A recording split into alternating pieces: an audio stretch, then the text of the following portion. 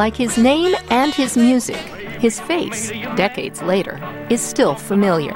It has appeared on everything from lunchboxes to postage stamps. This is actually the original artwork for the Mark Stutzman stamp that the post office released in 1993.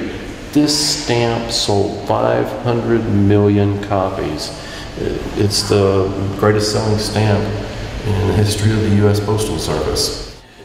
Warren Perry is curator of One Life Echoes of Elvis at the National Portrait Gallery. It's perhaps possible that Elvis is one of the most recognized human beings in all of history. Love me tender. Love me After his death in 1977, Elvis continued to inspire artists, young and old. Since Elvis's death, people have taken Elvis and put him into a lot of motifs. Elvis as a soldier component, the Elvis as a patriot, Elvis as a as a boy who loved his mom. You ain't nothing but a hound dog. And of course, Elvis, the king of rock and roll, who lived in a mansion and enjoyed fancy automobiles and other good things in life. What we've tried to do here at the National Portrait Gallery is pay tribute to Elvis on the occasion of his 75th birthday with the more fun spirited, the, the encomium like works of art rather than the, the negative and the, the mean spirited works.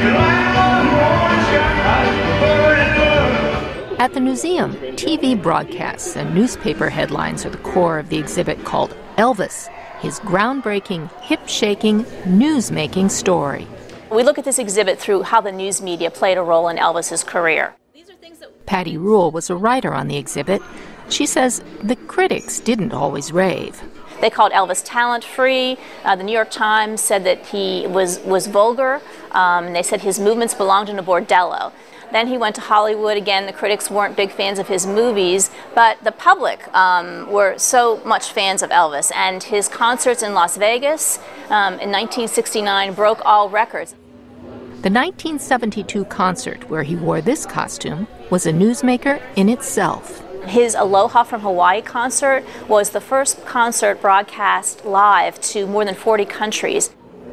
She says more than 1.5 billion people saw that concert.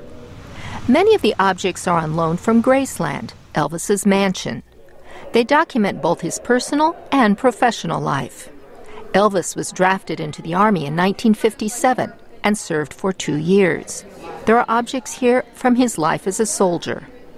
Years later, when he met President Nixon, he wore this velvet jacket. He walked up to the Nixon White House and said he wanted to meet with the president, and a stunned guard actually got him in to meet with President Nixon. He wanted to be enlisted in the war on drugs. This badge was a memento of that meeting. Ironically, Elvis died of an overdose of prescription drugs. Rhule says more than 30 years after his death, people are still interested in Elvis. We were afraid that perhaps he would only appeal to a certain generation, the baby boomers who grew up with Elvis and loved his music so.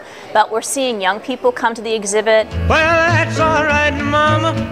That's all right for you. She says some even listen to his music. Susan Logue, VOA News, Washington.